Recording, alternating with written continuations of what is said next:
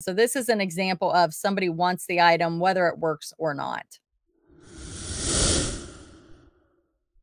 Hey, Bolo buddies. Thanks for watching. All right, you guys, in this video, we're going to talk about my bread and butter bolos, items that I sold on eBay for $35 or less.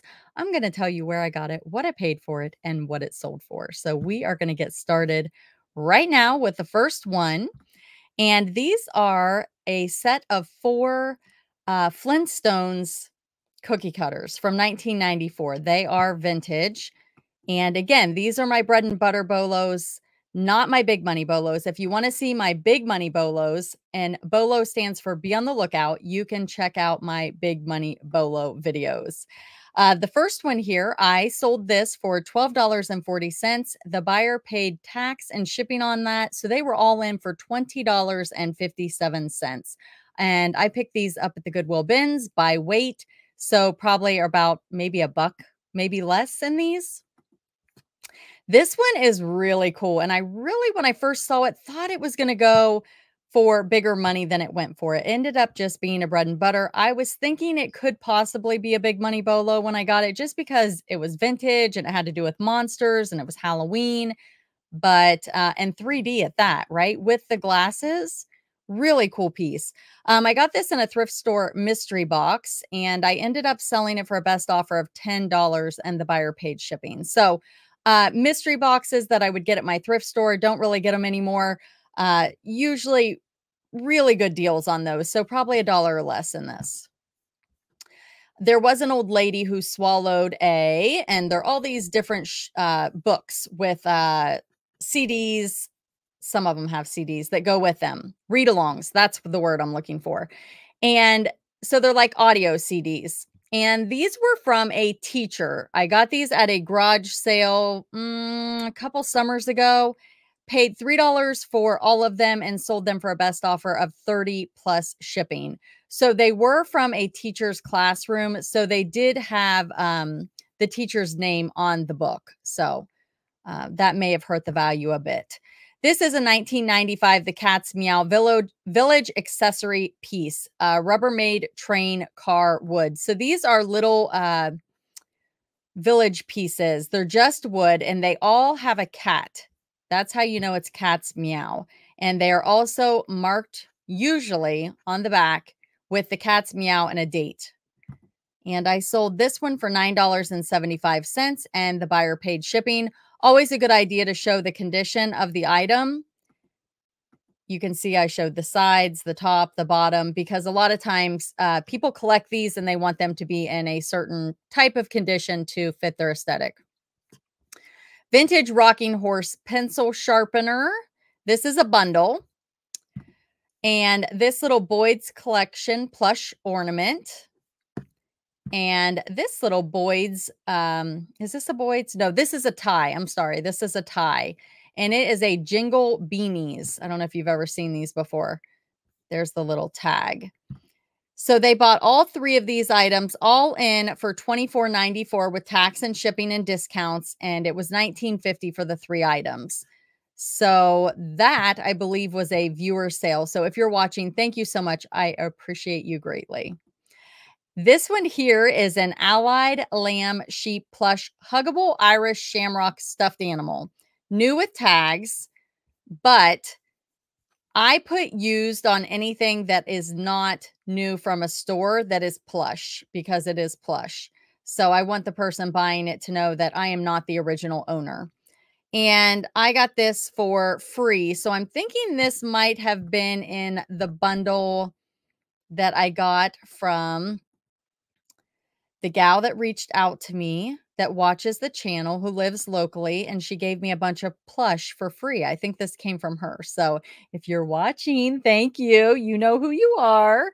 And I got this so free, sold it for 15 plus shipping. Cute little plush stuffed animal. And I'm guessing that one probably sold before St. Patrick's Day. This is a vintage apron. It's reversible. And I think my keywords were horrible because this thing took forever to sell and it is pure awesomeness. I love it.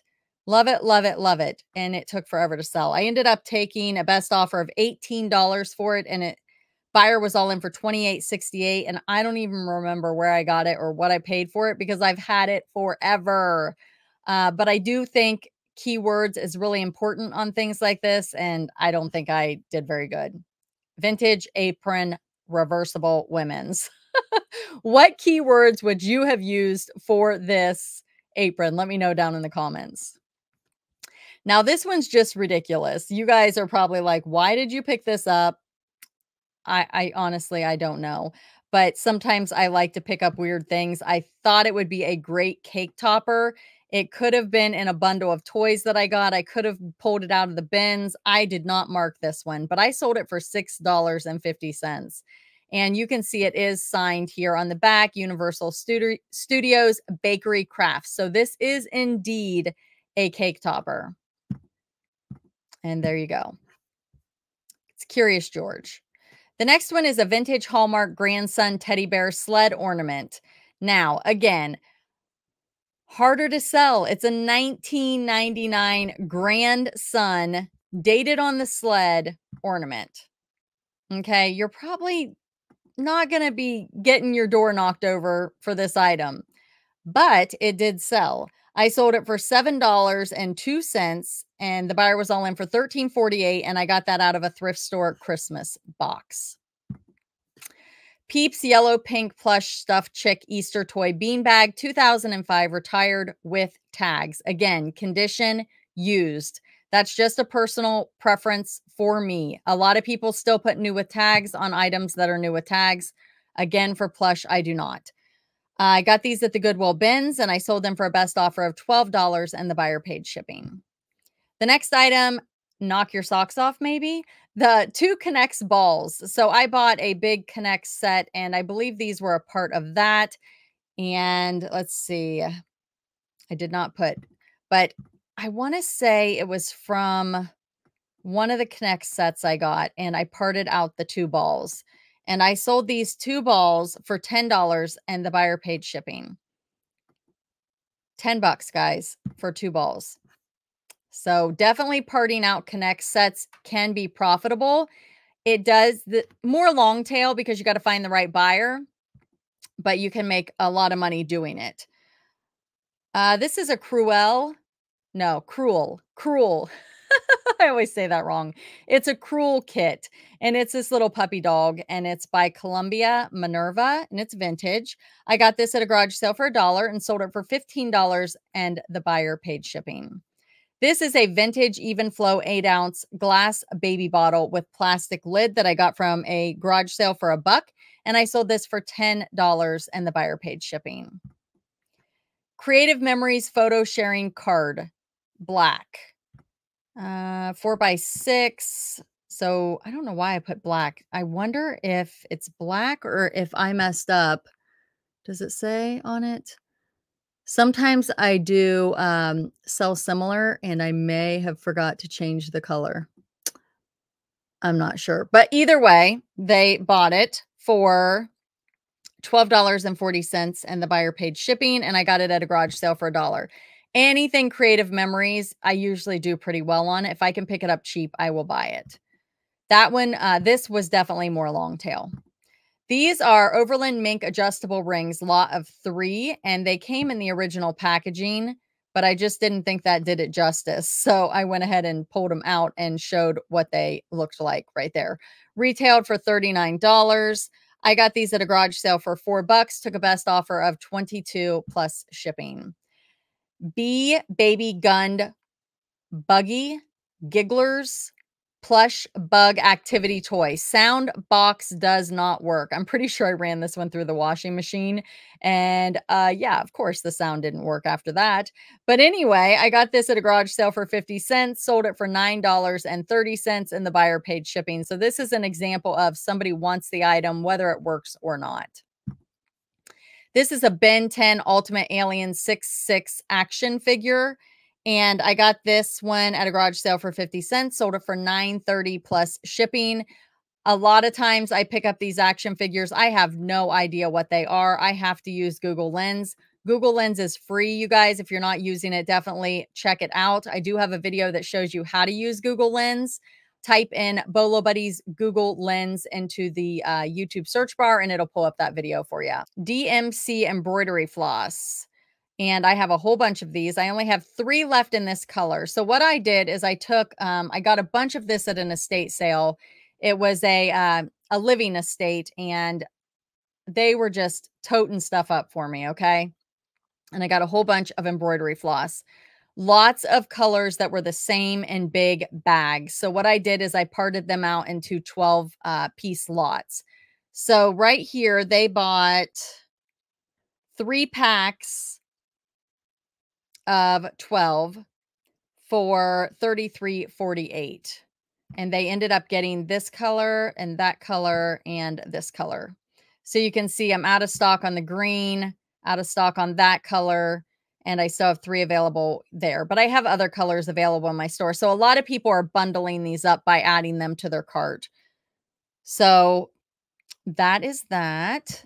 Here are these vintage Hayward cufflinks, 120th 12 karat gold filled red accent gold tone. These came out of a dibble box that I bought a long time ago from uh, Donatella when she sold on YouTube. She is now selling on Whatnot. So check her out over there. And I sold these for $10 and the buyer paid shipping. This is a 1997 Build-A-Bear Workshop medium brown little cub stuffed plush. So this one's a little bit smaller. Again, new with tags, marked used.